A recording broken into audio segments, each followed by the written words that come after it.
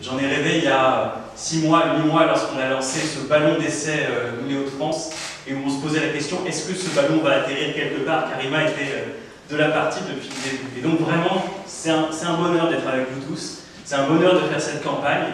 Euh, il y a de la joie entre nous, c'est une chanson, mais il y a vraiment de la joie entre nous, et, je pense que c'est important qu'on ait cet esprit, que les gens le voient, parce que pour réconcilier nos électeurs, il faut leur montrer que nous aussi on est réconciliés autour d'un projet. Euh, on l'a fait, pas seulement pour se faire plaisir, pas seulement pour la joie, mais parce que c'est la manière de gagner, d'aller gagner cette région Hauts-de-France, de mettre sur le côté ce qui nous divise et qui est tellement peu par rapport à ce qui nous unit. Et donc on veut gagner. Moi je suis socialiste, dans cinq jours c'est le 10 mai. Le 10 mai on a le goût de la victoire dans la bouche, nous les socialistes. Et donc on veut aller chercher cette région avec toi Karima. On n'est pas là pour faire de la figuration. On a pris trois points en trois jours dans les sondages. On va faire ça tous les trois jours et on va aller chercher cette région. Voilà. On a un projet concret qui va changer la vie des gens ici, qui va changer le visage de nos territoires. Et ça, c'est important, très important euh, pour nous. Juste dire un mot euh, de ma liste de l'Oise, parce que j'en suis très fier. On a une belle liste.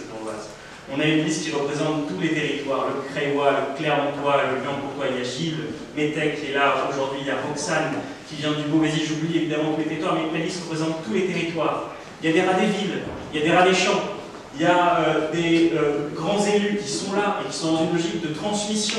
Je remercie le maire de Creil, Jean-Claude Villemain, le maire Olivier, qui, nous accompagne, Laurence Rossignol, euh, Béatrice Lejeune de Belle Bref, on, on, a cette logique de transmission pour propulser ce que disait Karima, à savoir une nouvelle génération dans cette élection. Et puis, juste pour finir, un mot plus personnel, je suis élu d'une petite ville qui s'appelle Villers-Saint-Paul, qui compte 7000 habitants. Il y a 40% de jeunes, il y a 25% de chômage, il y a 20% de pauvres. On n'a pas tout essayé dans cette région contre le chômage. Et c'est pas par des euh, numéros verts bis de Pôle emploi qu'on résout le problème du chômage. C'est pas par des aides facultatives de la région que personne ne connaît. Regardez le rapport des cours des comptes. Tout le monde ignore même l'existence de ces aides. Elles sont labyrinthiques pour pouvoir y accéder, pour créer de l'emploi. Nous, avec Karima, moi c'est pour ça que je la remercie, elle a tout de suite adhéré à cette idée des emplois verts, à cette idée de, euh, par des expérimentations comme territoire zéro chômeur de longue durée, qu'on va progressivement généraliser dans la région, qu'on va désenquister notre région du problème du chômage, qu'on va ramener des gens qui sont très loin de l'emploi vers l'activité. Voilà, avoir une liste dont l'étendard c'est l'emploi, c'est une vraie fierté et je te remercie Karima.